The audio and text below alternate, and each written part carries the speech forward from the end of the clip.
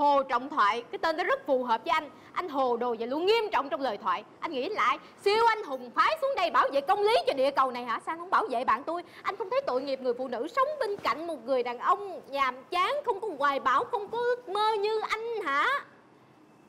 Người ta xinh đẹp, Người ta có điều kiện, Người ta có quyền đòi hỏi một người đàn ông tốt. Nghĩ làm sao quen 7 năm không cưới? Đợi 10 năm mới chia tay hay gì?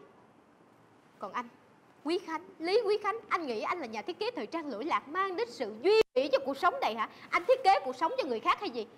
Anh nghĩ anh đẹp trai, anh giàu có Rồi anh yêu dội, anh đòi cưới dội Anh không quan tâm đến cảm xúc của người khác. Hai người nghĩ hai người là ai? Một người làm mẹ thiên hạ, một người làm má thiên nhiên hả? Xin lỗi nha Tôi là con điên của vũ trụ nè. Tôi là con điên của vũ trụ nè